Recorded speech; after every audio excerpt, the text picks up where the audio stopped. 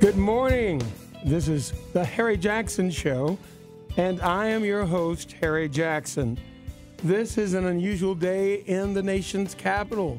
Overcast, a little bit cooler, rain is coming down, and this is a sign, perhaps, of a shower of blessing.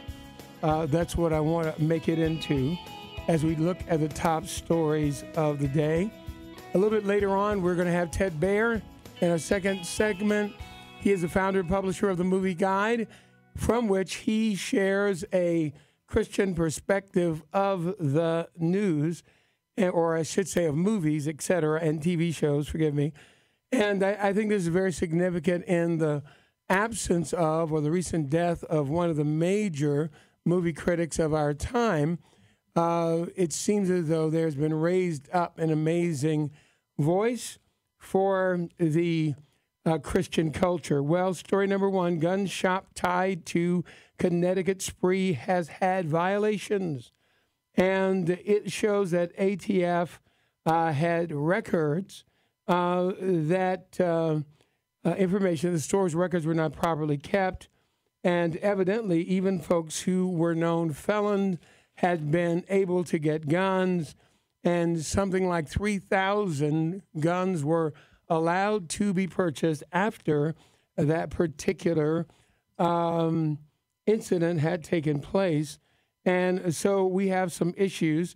We'll come back and talk to you about that a little bit more as we uh, share with David Parlett here in the studio. Second major story for us as we look at it is that abortion foes find fresh energy in state flurry of restrictions.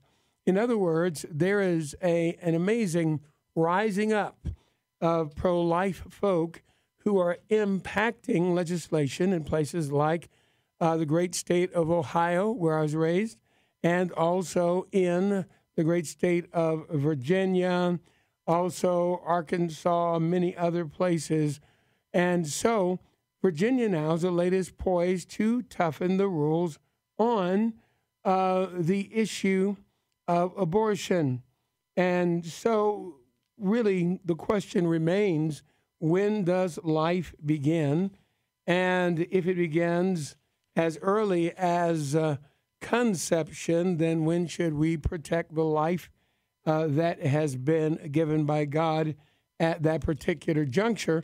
And the beautiful thing about it is that uh, it shows that even though something can be legal, such as abortion, someone standing like AFR Radio steadfastly uh, engaging with the culture can make a major difference uh, in terms of turning the tide, telling the people who listen uh, what the major issues are.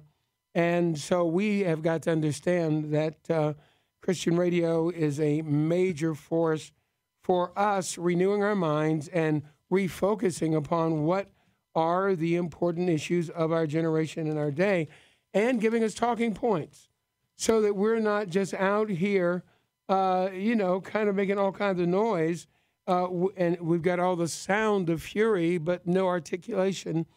And uh, so we're making some progress, but a pushback is coming where people who are pro choice uh, are going to push back. I'll never forget in the last election, being in the great state of Ohio, specifically in those places in Columbus, where most folks felt that the election was going to be determined, that the ads were going on and on and on about abortion and the right for a woman to abort a child. And I was thinking, there is nothing about abortion directly that is actually on the election. The presidential campaign then was not about abortion, or was it? It was not about, in some people's minds, a, a moral set of choices, or was it? It seems as though uh, the radical left ran on their understanding of morality, and then folk on the conservative side ran away from talking about uh, morality and their issues in that time. And uh, I think that was a huge, huge mistake. So there's a battle of values that's going on. And again, I think you should know that we're winning. And uh, we're going to slow down at this point and continue to talk about our key stories. Uh, and I want to bring in David Parlett on uh, the remaining stories that we have here. And both of them are intertangled with the issue of Korea, North Korea specifically. And who would have thunk that North Korea would be the center of international attention and that it would be causing so much trouble, especially when we are actually writing checks to that nation, meaning they're being subsidized.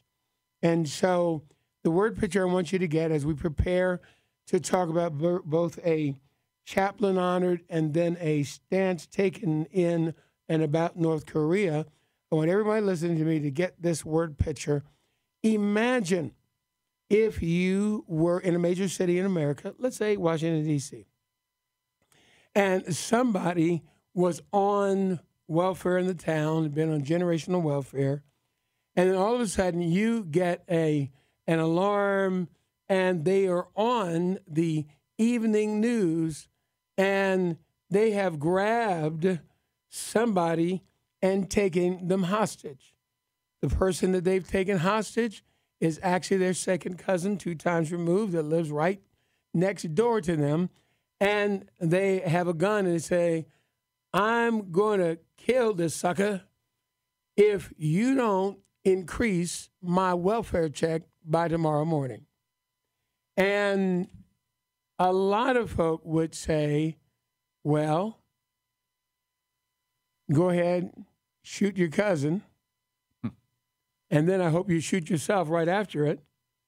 This laugh with me, cry, whatever. This is this is not sophisticated political explanation. It's just an, an analogy. And others would certainly run out and try to save the second cousin two times removed, even though he has the unfortunate of living next to a nut. And then others would sit back and say, well, we're going to secure the perimeter, but one thing we're not going to do is give this guy any more money because he's already living on my money already. And if I give in to this request, how do I know he's not going to want more money next month? And I can't guarantee whether he's going to take my money and just use it for drugs, alcohol, and some kind of crazy lifestyle. Pastor David Parlett, I believe that in some ways, this is what we have. And I, in dealing with North Korea, we've got someone who, in a sense, can't take of his own, take care of his own people, can't take care of its own responsibilities, is doing a lot of little entrepreneurial and illegal, I might add, businesses on the side, such as selling illegal contraband to other countries like nuclear information to uh, the folks in Iraq. That would be the equivalent of dealing drugs out of the back of your car uh, in the neighborhood. And so this analogy actually holds true if you're really listening to it. And and so we've got this issue of how do we deal with these folks in a way that does not empower their bad actions and at the same time deals with the fact that nobody's grabbing their second cousin, putting a gun to their head, making all these crazy threats, unless in their own mind there is a high level of desperation. So we got a desperate party, we have major needs, our values are being questioned. We probably have been subsidizing a crack addict for way too long. And so here we are. And in the inimitable words of one of the generation's greatest false prophets, and uh, that would be uh, Minister Farrakhan of the Nation of Islam, the chickens have come home to roost. So, what do you think about I think I'm making my production folks nervous here. See, some of you all thought I was only passed through the ghetto. Some of you thought that I only had a black card that had like a passport visited here stamps on it. See, y'all didn't know that I actually lived in the ghetto for a while. And uh, so, but this is really interesting the psychology of bullies. And that is really what we're dealing with. And if you ever lived in an inner city situation, you have to deal with bullies. They are they are around, they don't understand boundaries, and uh, if you let them, uh, they'll take your lunch money one day, and they'll take your gym shoes the next day, and uh, they might even take you with them if you're not careful. Yeah. So President Obama honors a chaplain from guess what war? The Korean War. A really uh, a guy that really deserved to be honored, and uh, posthumously uh, he has this cap a chaplain. The man is actually uh, evidently um, amazing hero, and I think that this is part of the peacemaking uh, that we have for the president and then North Korea likely can put a nuke on a missile. And then we've got a big picture in USA Today that shows Senator Chuck Hagel, or I should say Defense Secretary Hagel, testifying before the House Armed Services. And um, Thursday, and he's talking about where we are and what are the issues. What do you think about North Korea? What should we do? Should we cut off the money now and take the consequences? Mm, I, I, think America certainly has had a historic problem of uh, giving in and sending money to so many terroristic countries, and uh, with with those threats, yeah, we need to cut the money off. And uh, we, thank God, at least we're militarily positioning ourselves to protect ourselves. So we're wise in that. But then we need to set up the sanctions and the monies that we so graciously and freely give to terrorists all over the world. Well, if you cut the money off abruptly, the problem becomes that you may actually throw them more headlong into an aggressive war mode. Would you not agree? Yes, sir, because that's going to be their threat, and they want to carry out on their threat if possible.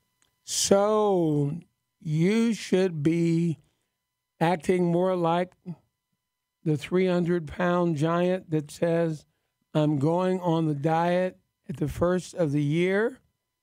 Or should I, and it's quite a few months away, or should I start the process of weaning them off of money.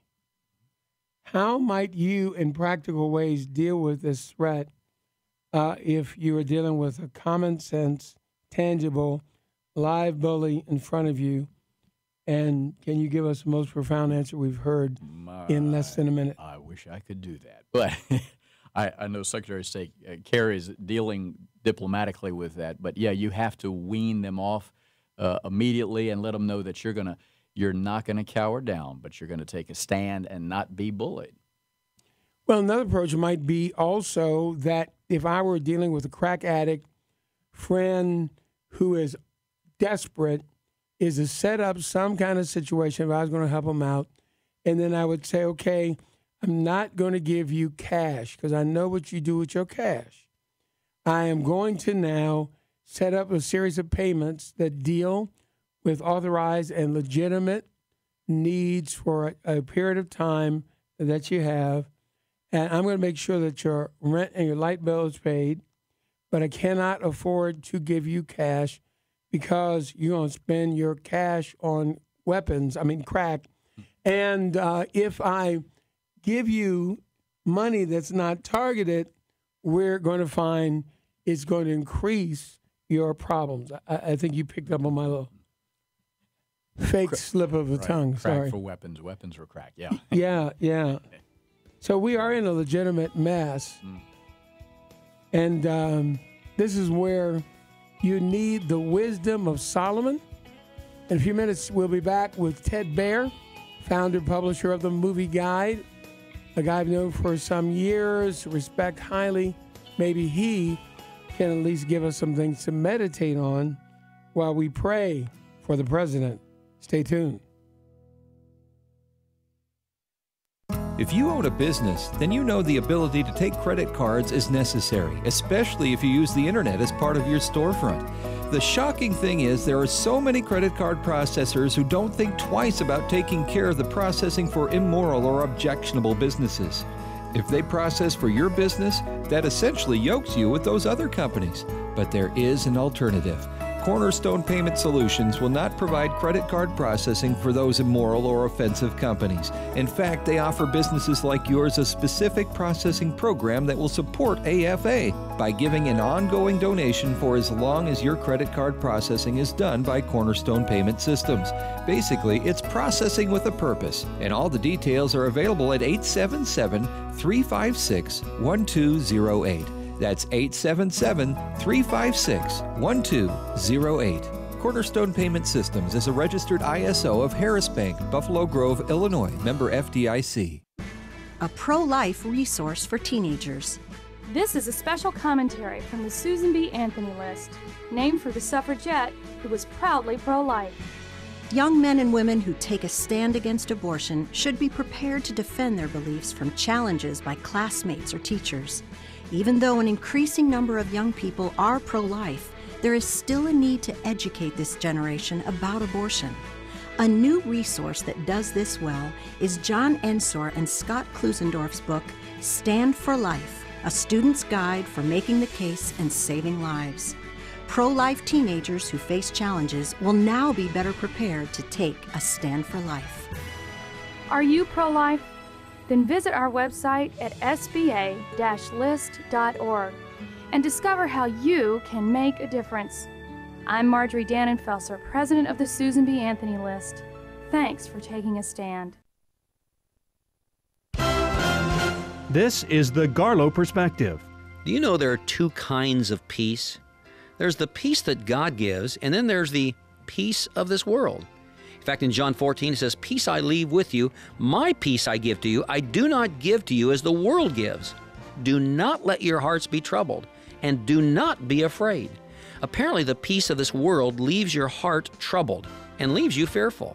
In fact, Jeremiah 6 warns, Beware of those who say peace, peace, when there is no peace. What is the peace that God gives? If it's different than the world, it means when you have peace with God, you may be at war with the world. God says, I will reconcile all things to myself. The peace that God gives causes you to feel at peace with God, which puts you at odds with the world. But it is worth it to have His peace. Choose it this day. Jim Garlow at garlowperspective.com.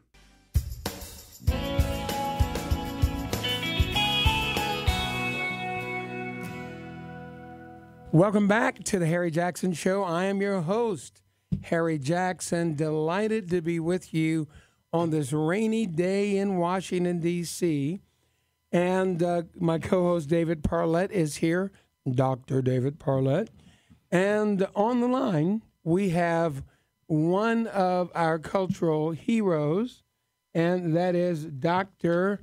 Uh, Ted Baehr, founder and president of the or a publisher of the Movie Guide and chairman of the Christian Film and Television Commission, as well as noted critic, editor, educator, I should say, lecturer, and media pundit.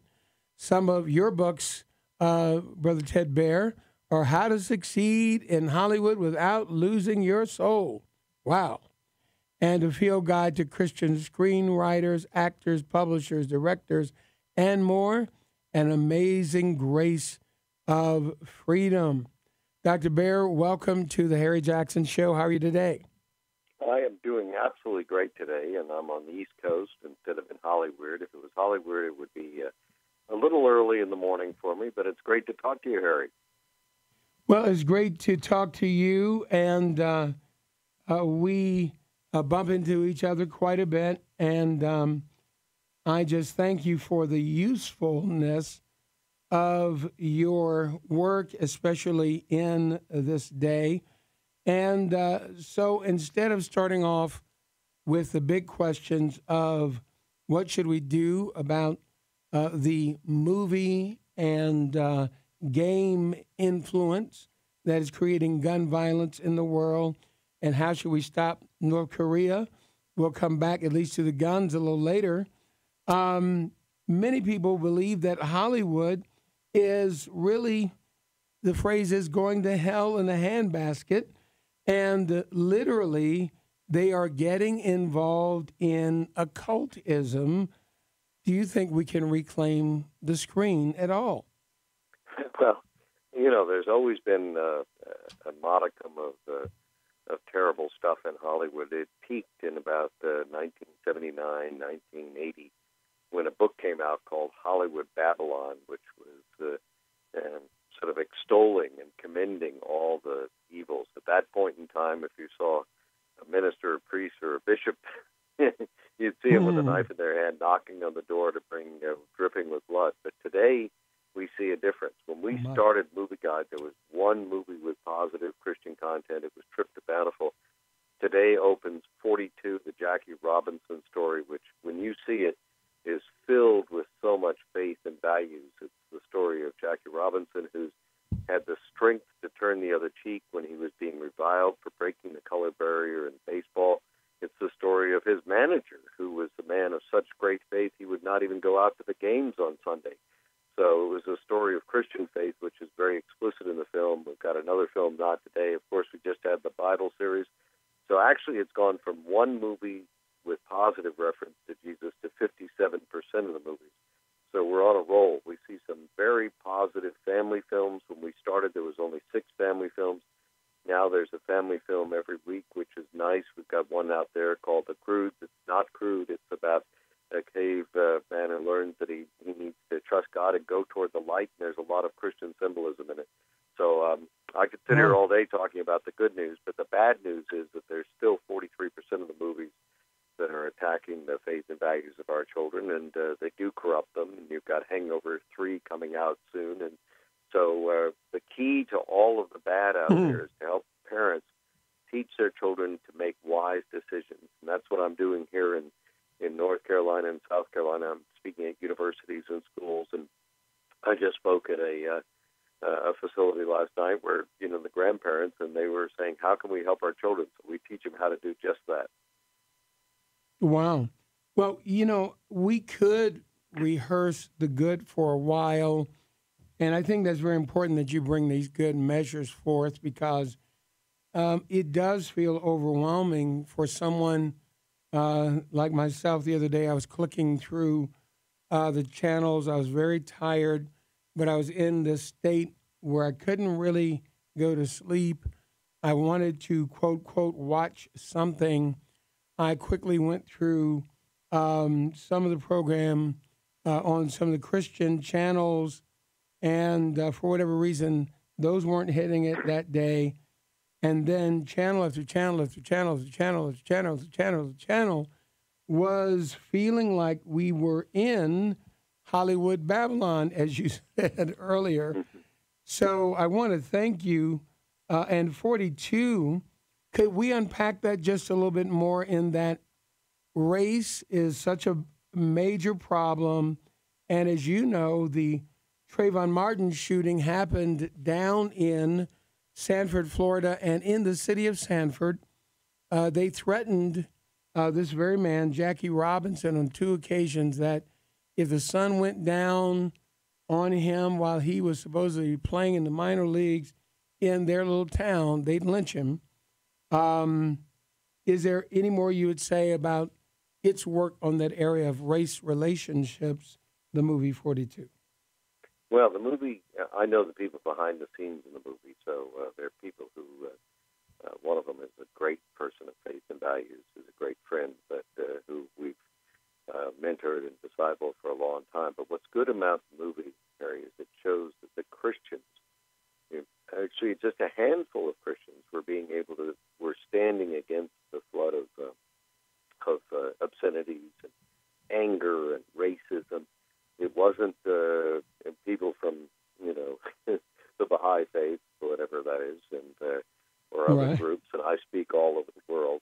It was people of faith in Jesus Christ, because in Christ we know that, uh, as Paul said, there is no slave or, or free. There is no, uh, uh, you know, in Pa- in Christ we have equality. We have grace. God created all men equal, and uh, that's the belief system that gave the coach the strength of character to hire Jackie and gave Jackie the uh, the strength of character, his faith in Jesus Christ, to stand against the wiles of the adversary. The people who were against him were not people of faith and values. That's powerful. So we should try to make a movie like this very successful for the obvious reasons that what you feed in this regard, you'll get more of. Um, Absolutely, it should be very. But remember, this is an is a mature film. There's some foul language. Everything else is, uh, uh, except for a couple guys getting dressed in a locker room, so you see their upper torso. But otherwise, it it's not a film with the foul language that I would uh, little children to. But I think teenagers need to see it so that they understand who stood against the uh, false uh, dichotomy that had been imposed on America by people who didn't know Jesus Christ had created all men equal. Wow, that's very helpful. Teenagers have been on my mind. Let's take a few minutes to unpack your work. Specifically, you're the publisher of the movie guide. Tell our listeners why this guide is so important, and please uh, explain your rating system. Uh, some people presume they know and they've seen you, but how would one really use it? And I'm hoping uh, that perhaps many who are listening today will actually uh, become intrigued and you get some new users to the guide from this program. Well, the theory behind it, which uh, you just expressed uh, probably as well as I could, is that what makes a difference today we have a choice at the box office. You can vote just like you vote at the ballot box, except the box office uh, produces movies that create the dreams, the scripts of behavior of children and grandchildren. So if you vote today for a good movie like 42 or a Christian movie like Not Today, it'll do well at the box office. If you vote for a movie like Scary Movie 4, which has got more violence, more cruelty, more sex, more meanness, more sadomasochism, it's going to do well. So the most powerful person in Hollywood is not Ted Turner, who lost his network, and it's certainly not Michael Eisner, who lost his job at Disney. It's the 12 to Wow. 24 year old who goes today to vote for the movie. To either vote Wow. for Jackie Robinson to break the color barrier, to, or to vote for a scary movie to kill and maim and mutilate helpless and defenseless people. And the way we get children to change in that regard is to help them know before they go, and that's what we do with Movie Guide. We don't try to do thumbs up and thumbs down. That's what Roger Ebert, the late Roger Ebert, just did. We don't try to be a traffic cop. We try to Mhm. help people develop discernment by saying, this is what's in the movie. Now you look at it and you learn whether you should go or not. We want people to be uh, not only discerning between good and evil, but to be wise enough to choose this day which one they're going to vote for. So we we give them information, and you know I was on a program like this, I think with Don Watman, and uh, some Mhm. person called in and said their daughter wanted to go to a movie that uh, liked scary movie that was just abhorrent, and then read our movie guide, and in it said some poor defenseless woman's head was cut off and used as a hockey puck, and the doc- daughter said, "I don't want to see this." So we we're very clear in the movie guide review because it's easier. It when you read it, you can say, "I don't want to have to put up with this stuff. I can make a wise decision, and I can teach you." Because we've been doing this for years. We had 60 professors come together at City University, New York, in the late 70s, and put together the first media literacy course. We can teach parents how to teach their kids five minutes a day to want to choose the good and reject the bad. The good is there before us. You can vote at the box office today, and you can vote for the good. I love it. Um, I'd like to ask you a question in relation to that. Uh, the influence of uh, the gay uh, lifestyle, sex, uh, violence, these themes, uh, how do they influence our culture today? Well, everything about a, a movie and television, and we're talking about movies because they're the big, big thing in our society. But and people know movies, but you, when you get into don't know them as well. There have been over 500,000 studies. Now, this was about six or seven years ago that Senator Lieberman in the Congressional Study on Violence said 500,000 studies. I just hired a young publicist, and uh, uh, she said there couldn't have been that many. And I said every school and university in the world is doing these studies. So I put signed her up for psychi- psychiatry today and uh, sociology today, and just on media violence every day. There's a flood of studies that come out, and 99.99% of those studies show the influence that it influences kids in in different ways. Uh, we know that. There's actually only one study that it didn't have an influence, and nobody in Hollywood believes that because it wouldn't carry advertising. Nobody would pay $3 million for an ad on the Super Bowl if it didn't uh, sell uh, Cadillacs or, or razors or, or drugs Right. that you don't need. So uh, the fact of the matter is, we know it influences people. What confuses people, and that was a brilliant question, is that different people have different influences. We know from all the studies that about 7 to 11 percent of the kids uh, want to copy the violence. That's not all the kids. That means 80 percent of the kids are not copying the violence, and a lot of those who don't copy it are scared by it. We also know that about 25 percent from the Dartmouth study want to copy uh, the alcohol and drug addiction. So they see something like Hangover 3 with a lot of sex, uh, with a lot of drugs in it. Uh, forget the sex for a moment, and they want to go out and think that they can go on a binge and have fun.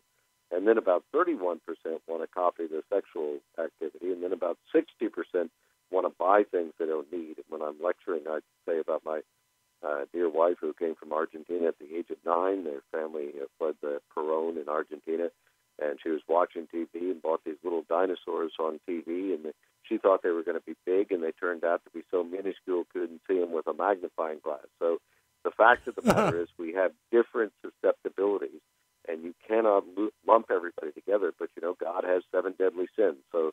Uh, the media works on each one of our propensities, and it does prevent, work on our good. Jackie Robinson's story is going to encourage a lot of people to get over their prejudices and to think about who Christ is and about the, the fact that Jesus can make a difference in their life. So, how do we get a hold of the movie guide? We've only got about a minute, uh, 30 left. How does one get a hold of your movie guide if they're not signed up yet?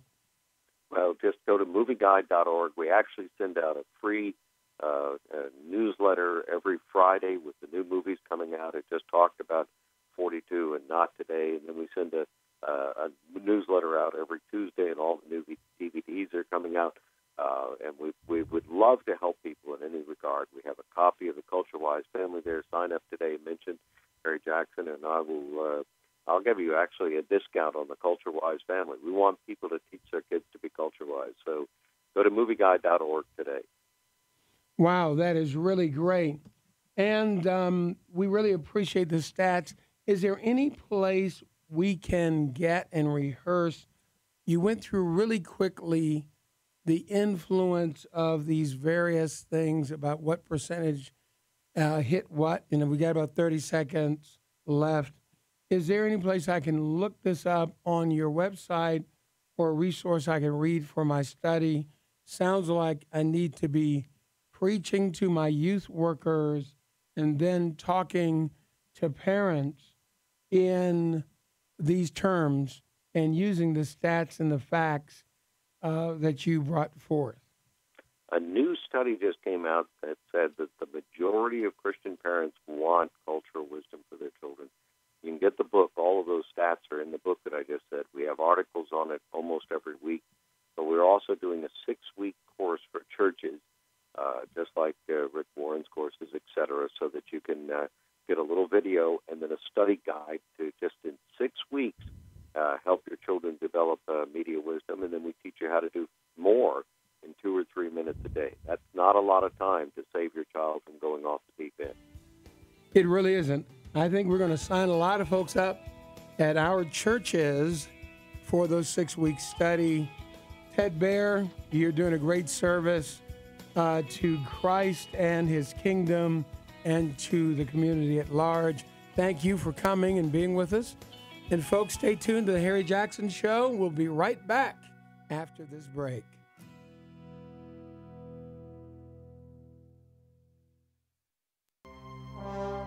There's no greater feeling of patriotism and appreciation for the men and women who gave their lives for our freedom than to stand at the tomb of the unknown soldier at the Arlington National Cemetery in Washington, D.C. Hello, everyone. I'm Tim Wildmon, president of the American Family Association and American Family Radio.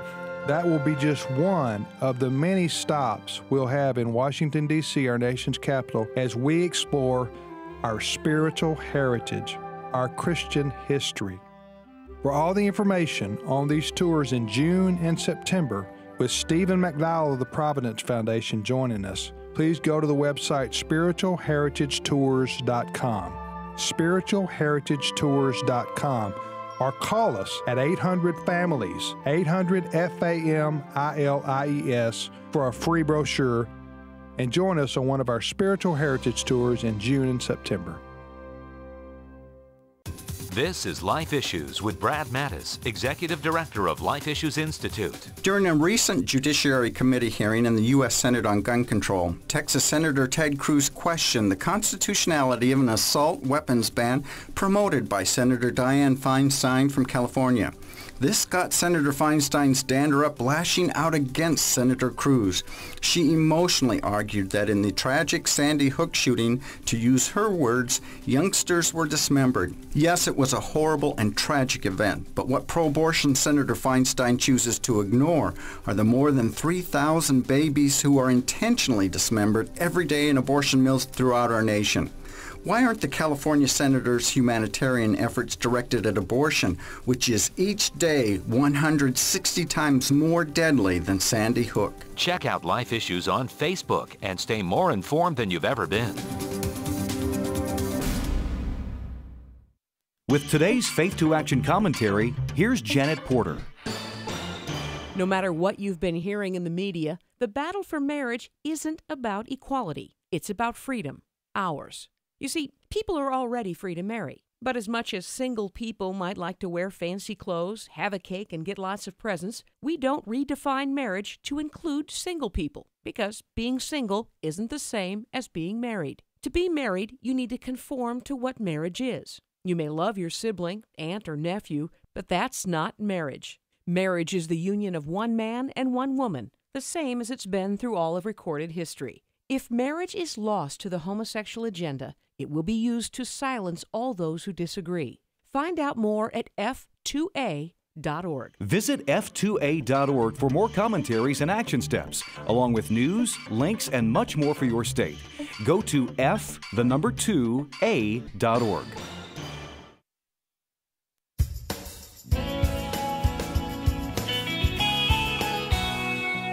Welcome back to the Harry Jackson Show. I am your host, Harry Jackson, joined by Dr. David Parlett from Beltsville, Maryland, and the weather here is rainy. What is it like out there with you? It's shifted from wintertime to somewhere near late spring, and the pollen has been horrific. Allergy fighters have been fighting, uh, and it has been a mess. Uh, what about your area? And we have just been talking the last segment with Ted Baehr, founder and publisher of the Movie Guide and chairman of the Christian Film and Television Commission. And uh, he shared a lot of great things with us. I love to hear that man talk. And um, David Parlett here gave him a question. Can you rephrase um, or restate for us the question you asked him? And then we'll kind of bat that around a little bit about its implications for our folks again. We're dealing with the influence of the movie industry upon our cultures, particularly on our young kids, whether it's dealing with violence, with guns, or sexuality. Uh, these areas that penetrate the mind and the heart and cause kids to go out and live a little differently than the way their parents or their mom or their dad raised them or the way they were raised in church. And uh, as he said, it does have an impact upon them, uh, even though politicians and others may say, well, we had the freedom to say what we want to say. uh, we still have to be careful um, in how we're affecting the younger culture. Well, he said your question was very insightful, and I would have to agree that, that talking about how the percentage of influences, and uh, yeah, he I, I can't repeat those numbers exactly, and we're going to research them so we can share them, but he seemed to suggest that whatever temptation test trial uh, you identify with sin, uh, that as that thing is flashed up, promoted uh, on the screen, folk will gravitate toward that, and it has a reinforcing element to darkness, if you will, to sin, to aberrant behavior, even if you reject it. So, right? even that? in the uh, Batman uh, movie, uh, where there was the Colorado killing after that, the man wanting to portray the Joker, wanted to be the Joker, wanted to kill people based on, uh, if we could say, the insanity of the character of the Joker, just reliving that out. Um, in real life, killed a lot of folks unnecessarily. And so we tend to step into this unrealistic world uh, that Hollywood has created for us, and we want to be like that character. Uh, and, and we choose dangerous, evil characters, we become like them. Well, I think that's well said. I mean, in the USA Today, we have a story uh, entitled Grim Fantasies Revealed in Texas Stabbing Case. And if we go back to what he said, um, then this guy, Dylan Quick, uh, who stabbed 14 people with a razor knife at Lone Star College's Sci Fair campus, uh, told investigators that he had researched mass stabbings on his computer about a week before the attack and had sharpened hairbrushes and pencils to use as weapons, the warrant said. Only one person remains hospitalized Tuesday, and that person was listed in good condition. Now, uh, I think that we've got a problem. Now, at his home, listen to this at his parents' Houston home where Quick lives, police found books about mass killings, serial killings, along with, are you waiting? Mm. A Hannibal Lecter mask mm-hmm. and animal dissection kit. Lecter is the, and I'm quoting directly now from USA Today, the cannibalistic serial killer in the 1991 film The Silence of the Lambs. And uh, so, quote, he stated that he had fantasized about cutting people's faces and wearing them as masks since he was eight, mm. eight mm. years old. Mm. I'm there like right, you. Right. Kids do not think about that at eight years old. You're thinking about going out and play ball, having fun, rolling around in the dirt. You're not thinking about cutting people's faces and wearing them as your mask. That has got to be as evil as uh, you can get. It, it, does. And, and if you look at the guy's picture here, um, I mean, he looks just like the average, everyday uh, young person going to a college.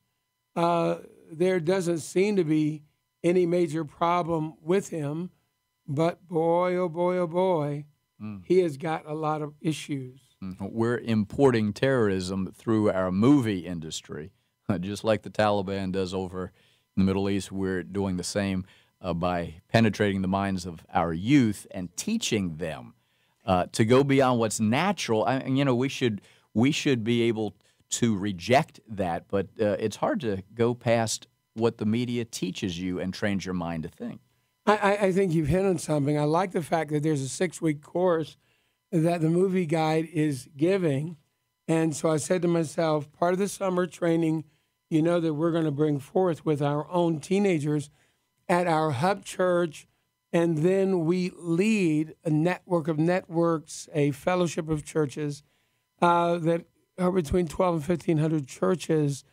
That group of folk, we are going to be encouraging them to reach out and use these kinds of guides because his concept of developing discernment is great.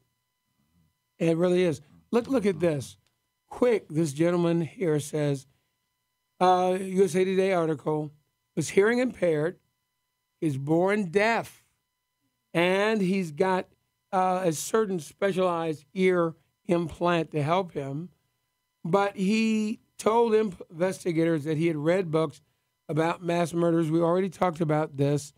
And among the titles that were seized were Hitless, Hitman, and the Book of Five Rings, a 17th century text on Japanese sword fighting, and uh, that he wanted to admire and mimic other mass killers, uh-huh, such as James Alan Fox, uh, or said James Alan Fox, a criminologist at Northeastern. And um, it's interesting. I guess they kept using, um, Mr. Fox did, the analogy of Hannibal Lecter. So if I've got a rejected child, such as the guy that came up with really the Sandy Hook Elementary School uh, killings, here's somebody who's got some kind of psychological or emotional or physical impairment. They're ostracized. There's an element of rejection uh, from the culture that's in their life. Therefore, there's an anger issue that's been set up. I don't know his background, but in the background of the guy in Sandy Hook, estrangement from the dad, perhaps.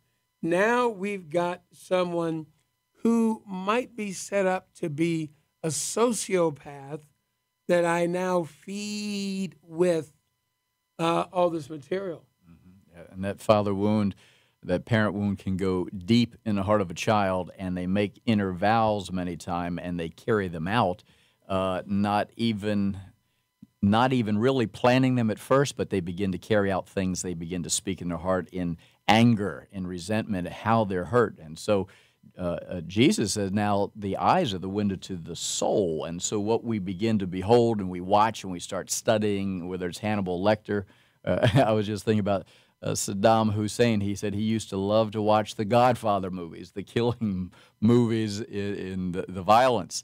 Um, and, and, and, that was his, the Godfather yeah. was his role model, you know. Yeah, he uh, took that to a whole nother level. he took it to a whole nother to, to a nation. But so we understand it as Jesus teaches us, what we look at, what we behold, it, it's the door that gets into our soul, and then it rearranges our life, and then we like almost somewhat like robots walk out that pre-programmed plan of, of evil. Well, you're listening to the voice of David Parlett, the co-host of the Harry Jackson Show. You can reach us at Bishop Harry, hashtag the Harry Jackson Show, or the HarryJacksonShow.com. We want to hear from you. Engage in this discussion with us. And I believe you're, you've hit on some powerful things.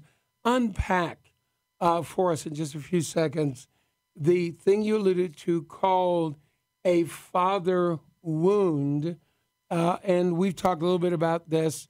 Uh, many people feel a separation from their dad. Describe A, what it is, in clear terms. Mm.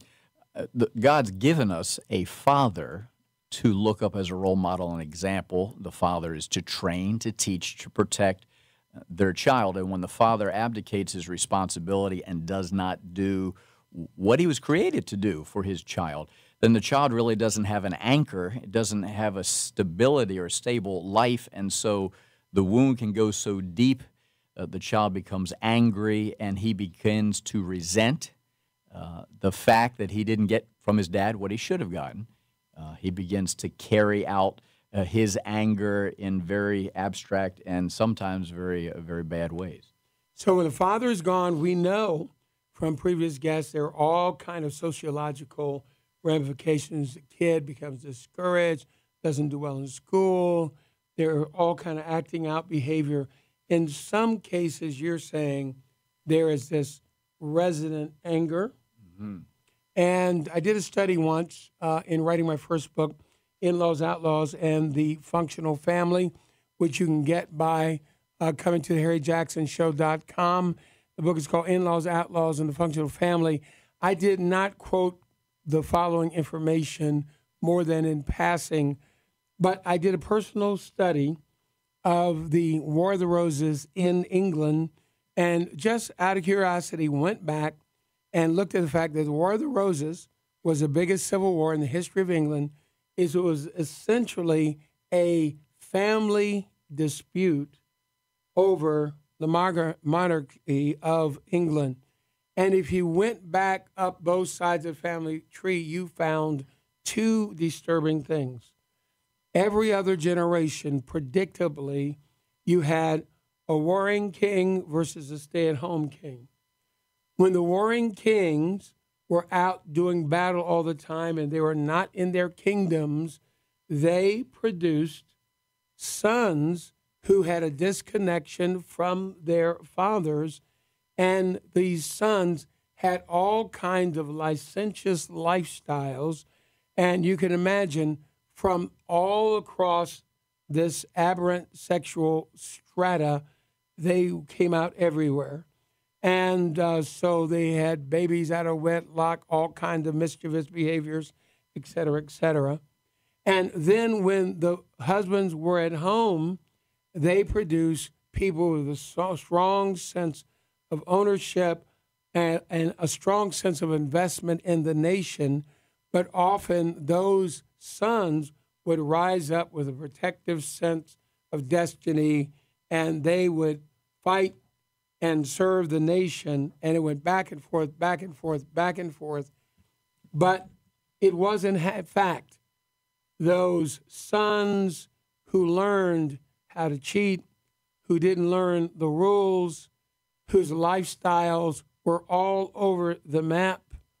Um, one king had behaved so badly that he was assassinated by the people in his courtyard. He had certain sexual proclivities, and the nobles of his day gathered around, murdered him, tortured him, and the way that they uh, buried his body, you could not see uh, the disfigurement and all the stuff that the guys had done to them.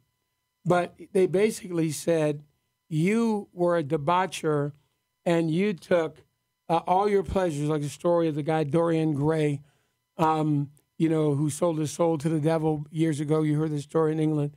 You've done all this instead of honoring your covenant commitment to the nation, and they killed him. And then, boom, uh, the beat goes on. So, two families, part of one extended family, ripped their nation apart.